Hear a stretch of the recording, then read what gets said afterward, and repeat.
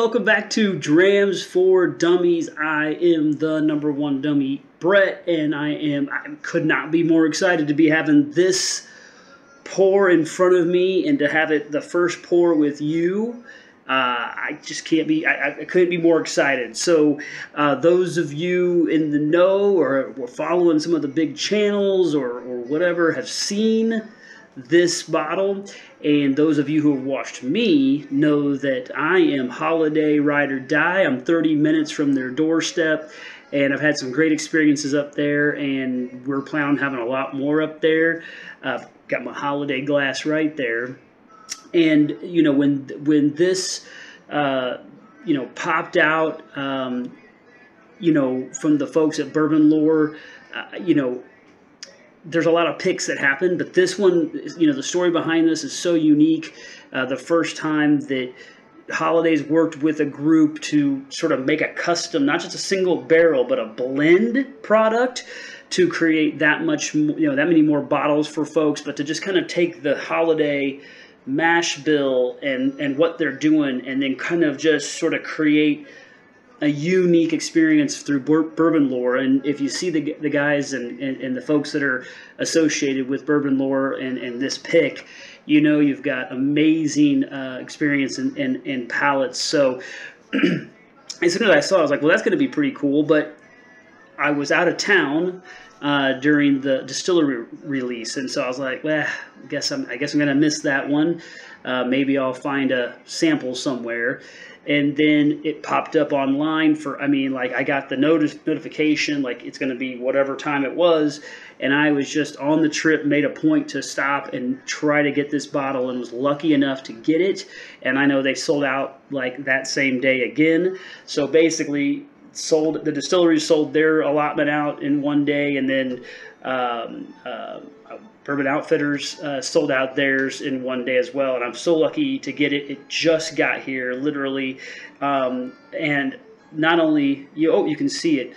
Spoiler alert: some of the bottles were autographed by Kyle, uh, master distiller, who I've had the honor to meet and talk to a few times, and uh, you may see him on here.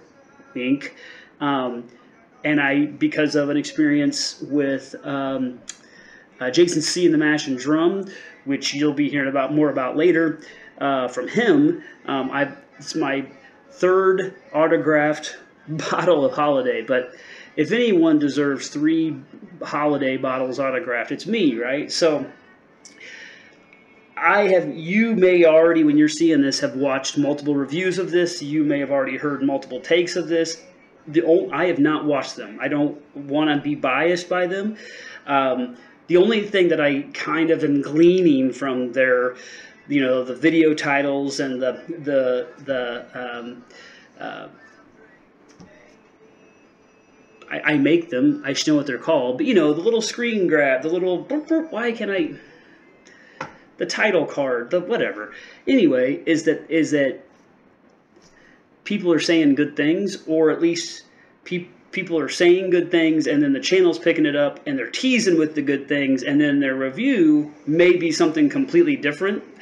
I don't know. So i don't know if this is hitting all the the marks that that that everyone thinks it is or if it's disappointing. I don't know what's happening but i know there's a ton of buzz around it and for there to be national buzz around a Ben Holladay product is so so amazing. Makes my heart so happy so I don't even care what the bottle's doing. I'm just happy for the Holladay uh, crew, the bourbon lore community, and the fact that this is getting that they're getting so much love so fast and they're so much on the up. So, without further ado, let me drink this for you. I did pour it before, so I there's no there's no cork pop with the Holladay. It's just a plastic cap. I don't know if there's controversy around the plastic cap or not. I know what their answer is as to why they have the cap. Uh, no failures, no product loss. Um, you know, I don't know, but I do know we all like the, you know, we don't get that with the Holladays. Um, so it's an 18 barrel blend. Um, you know, Holladay, again, to their credit, they do amazing things on their labels um, as far as disclosing. So this one's got the seven year age statement on it, right? And uh, but if you look at if you look at it, this one says that the youngest barrel is barrel 2125, which was distilled uh, December 19th of 2016, and the oldest barrel is barrel 19, which was distilled on March 9th, 2016. Um, barrel 19 is that the 19th barrel they ever barreled because that's cuckoo bananas. And being that this is, I don't know when they actually bottled it, maybe February. That would have made this that would almost a I mean a darn near eight year old barrel, um, and then the youngest one was like seven and a half or whatever. So um, this is a let's call it a seven and a half to almost eight year uh, blend.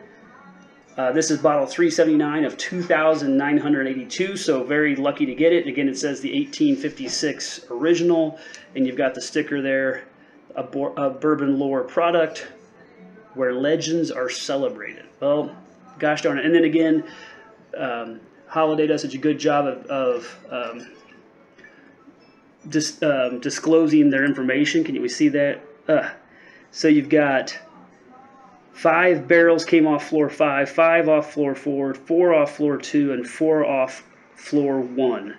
So um, I will say that I have inside knowledge from Kyle that I believe, well, definitely one of those middle floors is one of his favorites. So anyway, I'm not going to get into, I don't know.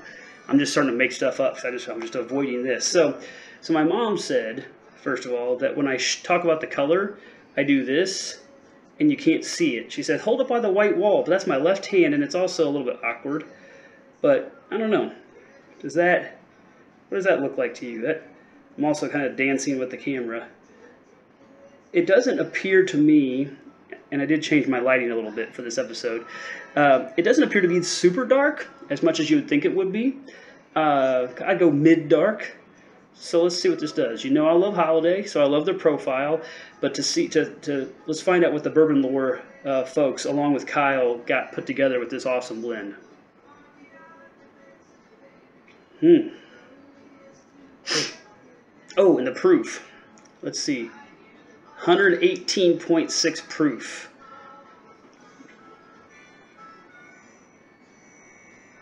That I'm getting a black licorice note. Strong off the off the rip, which is really interesting. And that's not a note that I've pulled before um, off of Holladay. And if it was, it was way in the background. And again, I didn't want to like. I should have probably done this on my own and then come back in like a week and let this thing get the air and do its thing. So who knows what it's if how much it's going to open up. I'm sure it's going to open up a lot more as we go, especially being a blend and it's really nice, but it is bright. It is super bright.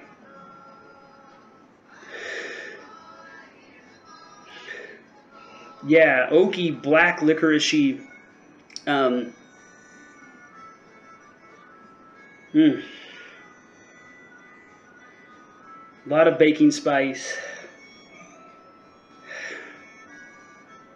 There's a little citrusy in there. There's like I, am gonna go orange almost. There's like a little orange in there. It's it even just sitting here as I keep going back, and you know what? You know I like a good complex nose that's different every time you go back. This one hit off the. I mean, just right out of the gun, it was like super, not bad, but super bright and a little sharp, and that black licorice hit me. That's mellowing now. The oak is more is more prominent now. It is. It smells hot hotter than 118. Oh man, but again, that's what I love about Holladay and any good bourbon is is again that they can get so much complexity and so many layers out of even a seven year old bourbon or whatever. Um, it's different every time. It just is. Got some good old legs happening. I mean, they're coming down. I don't know if you can. Oh, you can kind of see them do that. Can you see that? That's fun.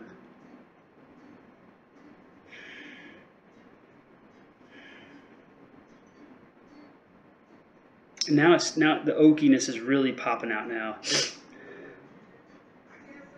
I'm going to take a drink and just see what that does to everything, and then we'll come back around.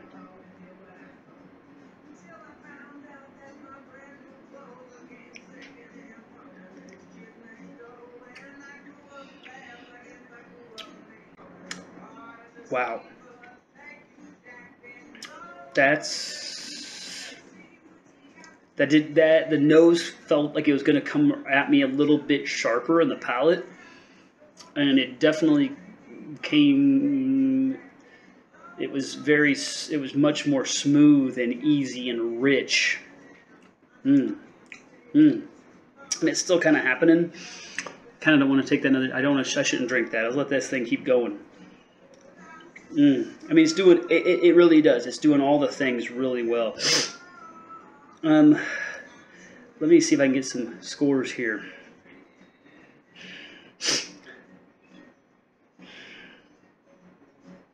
Taking that drink has, has really mellowed the nose. And it's really, the sweetness is kind of rounding through now. That is That's really nice. Hmm. It gives that little bit of that um, proofy sizzle up through here, but it's but I like it. It's like eating spicy food. You're like, mm, a little sizzle in there. That's just. I just think I just think Holladay is just it's if you it's just bourbon man it's just it's it's just it doesn't it's not crafty it's authentic, it's genuine, but yet it's saying something a little bit more unique. I mean, it's just got a different voice. But I mean, oh, it's there's a smooth and a richness in there now, so it's smoothing out the nose. Man, a little bit of a savory note in there which I get on Holladay sometimes, that kind of savory, almost barbecue, tomatoey spice in there. But it's very subdued. It's it's back behind the. It's like if you saw that Friends episode where Rachel made the the the trifle, and then she got this pages stuck, and it was like, you know, beef good, you know, jam good, uh, gravy, whatever. Pea, I don't remember. I can't remember all the things that were in it, but it was like she mixed all these things up, and that was kind of like I talk about this barbecue sauce, and it was like, but then it's like you got the cream, the whipped cream, and the the uh, that caramel and, and molasses and oak is, is is is almost is in front of that. So it's it's a weird layered thing. it's like it's all on the plate together, and it's it's separate, but it goes together somehow. Like you went to the barbecue restaurant and you had a great plate of barbecue, Kansas, talking about Kansas City and Missouri, you know, bourbon, and then they brought this awesome dessert out, and it's like some kind of a booze-soaked, creamy, cakey thing. But then, like you, you, they they put it on the plate with the barbecue that you had, and so you've got a little bit of sauce in the side. So as you're kind of scooping it, you get a little bit of that. That's what's going on. I don't know. I'm losing my I'm losing track of myself here. Yeah, that sharpness and that really came off. That must have been a neck pour sharpness that was really hitting me. Um, I'm going to go 8.5 on the nose.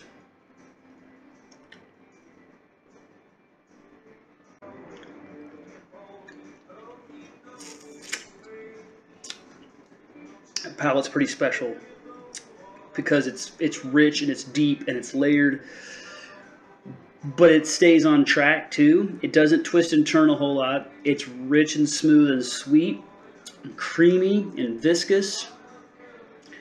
It just fills the palate with what you're wanting out of a bourbon. And that's what I'm saying. It's just, I mean, Holladay is just traditional, traditional, traditional. It's not, it's not trying to throw you curveballs here.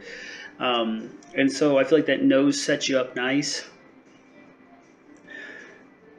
Maybe it may maybe get you thinking you're going to have a little bit of a sharp experience, and then this, and then it, as soon as it hits the mouth, you just feel it, just, just it just fill in the mouth. I'm going to go with a nine. The finish can't hold up that nine. It comes down a little bit.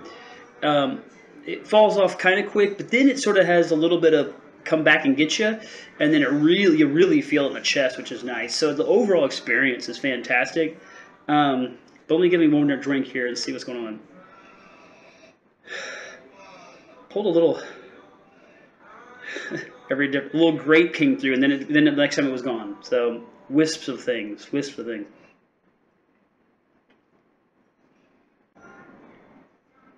I just feel like I feel like the finish it just falls off enough. I'm gonna go 7.5, and I'm interested now. I want to go watch um, Jason C. and of the Mash and Drum. I, am pretty sure he did this. I'm almost 100% sure he did this. I didn't watch it yet, but I sat next to Jason at Holladay and uh, helping him with his barrel pick, and um, which, by the way, I'm sorry, barrel picks. Um, you're going to want to get both the wheat and the bourbon. Um, so we talked about, uh, you know, I'm a nose first. I kind of go in order. I'm nose first, palate second, finish third. I can forgive finish if the other two are fantastic, whatever. And Jason let me know that he's kind of a finish first guy. Like he he wants that real. There's something in that experience that that's what really trips his triggers, and then maybe he goes the other direction, right? I don't. I mean, I, I kind of feel like if I'm remembering right, it might have gone. If I was he might go finish nose palate. I don't even know, but um, I'd be interested to see his review of this bottle and see if he agrees with me um, that the finish falls off a little bit compared to what you think you're getting or what you're getting off the nose and the palate. Um, but let me do a little little mathy time, little edit. See on the other side of the math. Okay, so score breakdown time. Nose 8.5. Great, hard to complain. And this is the neck pour. This may be a 9 or 9.5 when I come back to it. Um, palate, 9.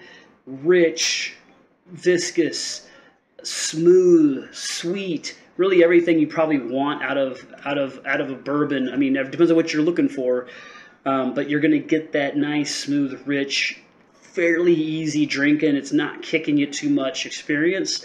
And then the finish falls off a little bit for a 7.5, but that all ends up averaging to an 8.3, which top shelf. So that's top shelf for me. Not a surprise at all.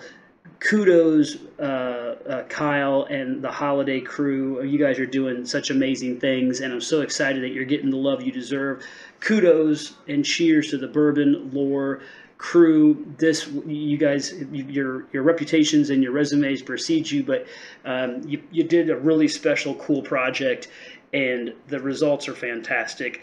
So both all of you deserve the credit you're getting. Um, I can't wait to go watch everyone else's reviews now and see the love you're getting. I know that people have teased out maybe uh, top bourbon of the year already in March, April, um, which is fantastic. So problem with this bottle is, you know, it's you're not going to find it on the shelf. You're not going to. It's it's gone from the online stores. So now we're talking about secondary, and I don't know. I don't think Holladay on secondary is going to be, you know, nationwide is going to be pulling crazy over retail. So I don't even know if, if they're going to end up there. If people are just going to end up holding on to them and drinking them and enjoying them, which is what they should do. Um, but for you watching, what's the point if you can't buy this bottle? You're you're you're seeing their stuff on the shelves. Um, and if you have it, you're going to, and and and one you know, if one way or the other, you're going to go online and see it. Get their stuff. Get all of it. Get get the the bottled and bond bourbon. Get the bottled and bond you know soft red wheat. Get the Rickhouse proofs. If you see a store pick or a single barrel, grab it. Everything and everything is on profile, but everything's just enough different that each each bottle is a different experience. It's, they're not up. They're not doing it at a level of a Beam or a Heaven Hill or a Jack Daniels where there's a every bottle's the exact same and, and, and it's just sort of a, a big factory produced thing.